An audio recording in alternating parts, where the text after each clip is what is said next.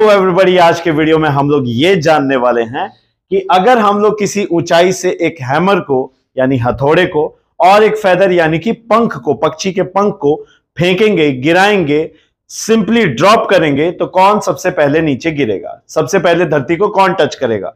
तो आपके दिमाग में आएगा, और जो कि सही भी अगर हम लोग अर्थ पे एक्सपेरिमेंट करते हैं एटमॉस्फेयर के प्रेजेंस में करते हैं तो हैमर गिरेगा नो डाउट लेकिन अगर ये एक्सपेरिमेंट मून पे किया जाए या वैक्यूम में किया जाए, जहाँ पे एटमॉस्फेयर ही नहीं है, जहाँ पे एयर ड्रैग ही नहीं है तो दोनों एक साथ गिरेंगे। जी हाँ, दोनों एक साथ, क्योंकि दोनों के लिए ही जी क्या होता है? सेम है। दोनों पे acceleration due to gravity same लग रही है तो दोनों ही सेम टाइम पे धरती को टच करेंगे।